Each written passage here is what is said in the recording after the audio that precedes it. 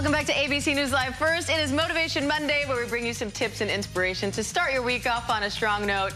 And if you're still struggling to jumpstart your fitness routine for the new year, our next guests have some tips to get you motivated and started right from home. This is Physique 57's Torrey McAnena and Adam Dickerson.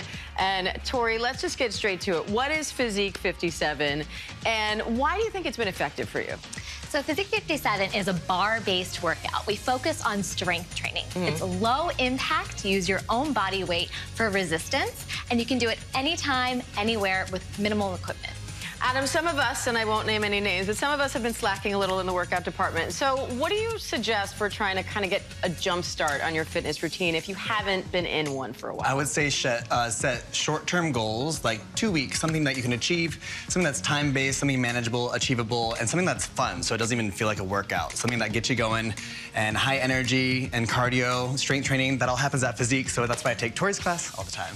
Uh, some of the barrier can be, oh, I don't have the equipment, I don't have the gym membership, I don't want to leave the house. So show us what we can do at home, no equipment needed. Great. So we have a chair. All you'll need is a chair. Okay. Put one hand on it, your feet parallel, bend your knees, lift your heels a little, and then you start to shake your hips, right and left. Now, oh, hey, hey. Yeah, mm -hmm. not only. That looks fun, exactly. Is it fun? You're going to work the tops of your legs. You're going to work your abs. And as you get a little lower and you lift up, it's going to get the heart rate up. Okay. One-stop shop, yes?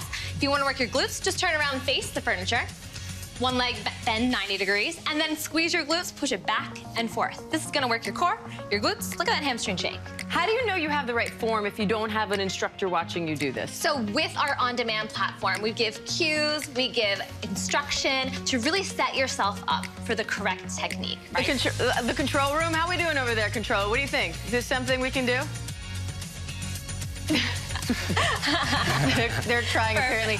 And if you if you don't any tips on how to make sure that you're doing things correctly if you don't have an instructor yeah. watching you? You want to make sure that all of your core, everything comes from your core. You want to lock in your abs, your ribs, and from there your extremities can move more freely and in the right way. So no hunching. No hunching. And no trying to pull from the shoulder area. Yeah. Okay. It should no burn. If you if, if it's burning, it's working. Oh, we've got the control room in with us. Yeah. All right.